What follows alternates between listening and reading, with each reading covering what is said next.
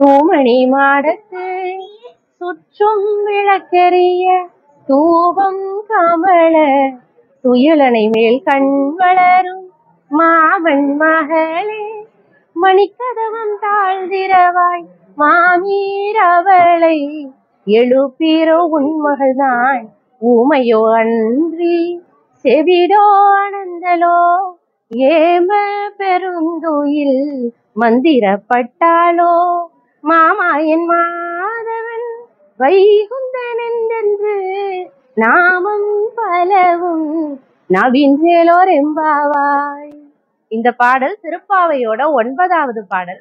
இந்த பாடல்ல ஒரு செல்வ செழிப்பு மிகுந்த ஒரு பெண் தன்னோட தோழி ஆண்டாளம்மா போய் அவங்கள எழுப்புறாங்க. தூமணி மாடத்து அழகான மாடம் இருக்கிற இடத்துல சுத்தி விளக்கெரிய வச்சுட்டாங்க. மார்கழி மாசம் காலையில விளக்கெல்லாம் ஏத்தியாச்சு. இன்னும் அந்த பொண்ணு தூங்கிக்கிட்டு இருக்கா.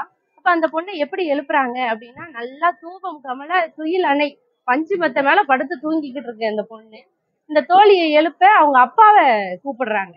மாமா அப்படின்னு சொல்லி கூப்பிடுறாங்க. தோழியோட அப்பாவை மாமான்னு கூப்பிடுறது வழக்கம்.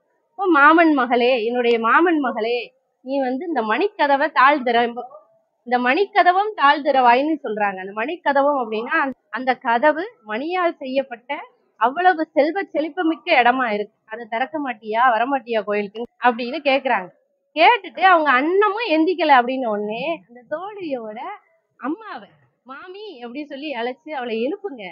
எவ்வளவு நேரம் ஆச்சு? கோயிலுக்கு போகணும்ல? அப்படின்னு சொல்லி எழுப்ப சொல்றாங்க. தோழிமார்கள் எல்லாரும் வந்து எழுப்பியாச்சு. தோழியோட அம்மா அவங்களும் சேர்ந்து எழுப்பியாச்சு. ஆனாலும் அந்த தோழி இன்னும் அந்த துயிலனை மேல் தூங்கிக்கிட்டே இருக்காங்க.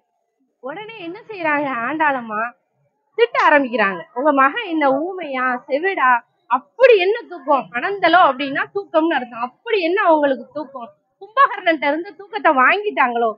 இல்ல மந்திரத்தால யாராவது கட்டி வச்சுட்டாங்களா? அதனால தூங்கிக்கிட்டு இருக்காளோ? அப்படின்னு சொல்லிட்டு சொல்றாங்க. அந்த மாமாயன் மாதவன் வைகுந்தன் கேசவன் அப்படின்னு அந்த பெருமாளை எல்லாரும் சேவிச்சுட்டு இருக்கையில நம்ம தூங்கலாமா? எந்திரிச்சு வாங்க அவருடைய நாமத்தை சொல்வோம்னு சொல்றாங்க. திருப்பாவையில ஆண்டாள் நாச்சியார். நன்றி.